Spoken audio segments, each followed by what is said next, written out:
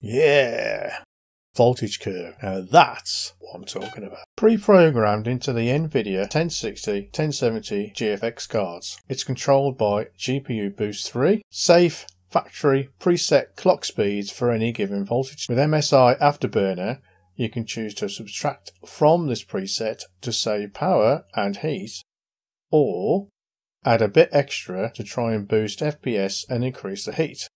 An important warning here Nothing stops you whacking this to the maximum, but hardware will shut down, freeze, and potentially damage your machine. So don't do it, right? So let's go through a typical process. So we've got the OBS screen recorder, as I've shown before, using the built-in video encoder. Now that's busy, but it makes the CPU sleepy, GPU sleepy, and the overall load crack on.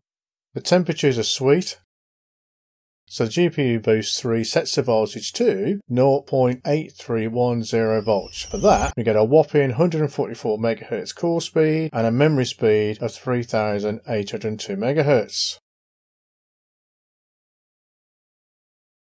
Now, for that overdue voltage curve, click the main interface of the MSI Afterburner, after which hold down the control key and tap the F key, then let them go.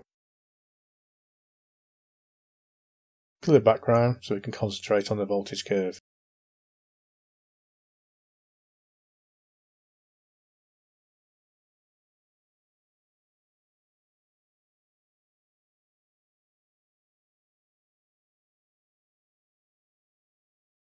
Across the middle here is the voltage curve. I'm going to call it the frequency curve Follow me on this one, it makes more sense. remember GPU Boost 3, after checking conditions, gave us 0.831 volts? Armed with that, locate on the core voltage line. Scroll up, zoom left, and that'll tell you what megahertz you're going to get. Now, when you think in this white zone I'm just showing you here, you're not going to be able to reach with the Max-Q graphics cards. Now, do you recall from number 5 GPU Boost 3 upload my statement that the effective range was 6750 to 8310? I bet you're thinking to yourself, it only goes down to 0.8 volts. How do we get to 0.67 volts? MSI Afterburner was designed for full-fat desktop PC cards set a few generations back. Built-in laptop Max-Q ones, this chart isn't much use.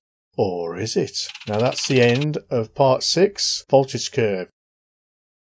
So don't suck it up, sub me up. Thank you very much for watching. As usual, bye.